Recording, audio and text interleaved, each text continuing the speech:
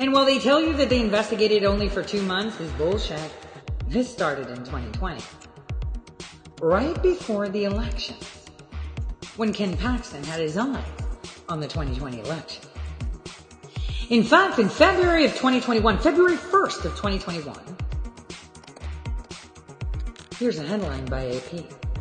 A Texas lawyer says he found a tracking device on his pickup truck during an escalating court battle with a businessman at the center of an FBI investigation into Attorney General Ken Paxton. Wait, stop. What was that? Oh, wait, wait, wait. Stop. What was that? You mean the FBI was investigating Ken Paxton and the Attorney General of Texas in 2020?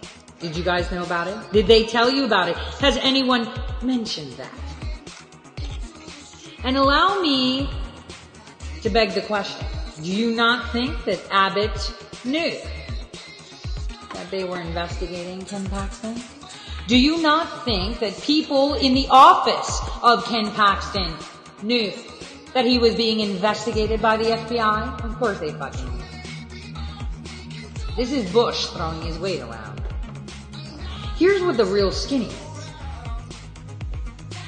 Two of the most remarkable pillars of our Constitution, the Ninth and Tenth Amendments. These amendments may not receive the same attention as their more renowned counterparts, but they possess an unparalleled spirit of liberty and embody the essence of our great nation. The Ninth Amendment boldly proclaims the enumeration in the Constitution of certain rights shall not be construed to deny or disparage others retained by the people. Where, listen people in Texas, this is something we've got to do. Pull all the freaking communications of the House. Where they got their information. Did they get a copy of the FBI investigation? What initiated the FBI investigation into Ken Paxton? Why would the FBI be investigating Ken Paxton in 2020? That's where you get to the sauce of it. Simple thing. Going back, this is where we need to strike. We need to demand to know how the House in two months did what the FBI's been doing for three years. Huh. You mean they gave it to them? You mean Ken Paxton, like I said, is America's Attorney General? Huh?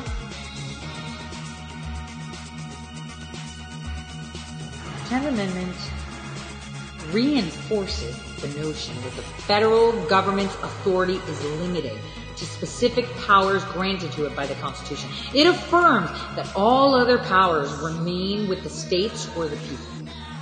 This division of power serves to safeguard us against tyranny, ensuring that decisions are made closest to the people they affect and allowing for diverse approaches to the government among themselves and then as a whole within our great nation. See, education is key here. Why are we allowing the federal government to manipulate Texas local House and Senate? Why are we allowing the federal government to intervene in Texas matters? Well, I think we need some loyalty investigations to see the corporations that are funding these things